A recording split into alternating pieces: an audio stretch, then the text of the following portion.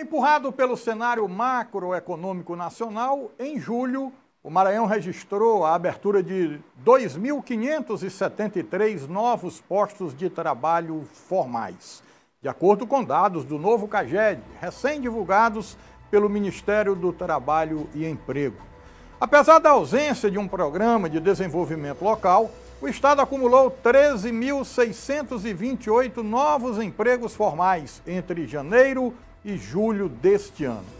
No Brasil, o número de novos postos formais foi de quase um milhão e meio, superando o registrado em todo o ano de 2023. No Maranhão, todos os grandes setores da economia apresentaram saldos positivos em julho, com destaque para a construção civil, que gerou 857 novas vagas.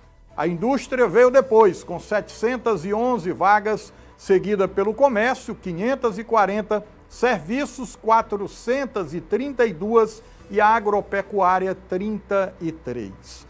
São Luís liderou a criação de empregos formais no estado, com um saldo positivo de 802 novas vagas, elevando o total de trabalhadores com carteira assinada na capital para 316,7 mil.